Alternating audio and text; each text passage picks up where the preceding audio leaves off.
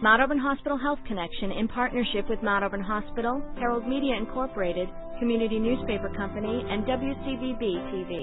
Critically ill patients need a skilled team to care for their rapidly changing conditions.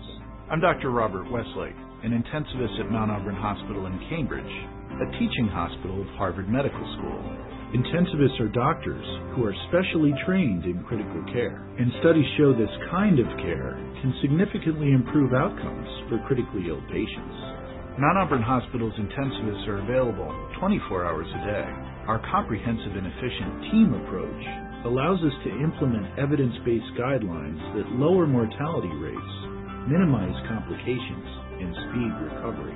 At Mount Auburn Hospital, our team approach allows us to communicate quickly to prevent life threatening situations. For more information, visit MountAuburnHealthConnection.com, where every patient is the only patient.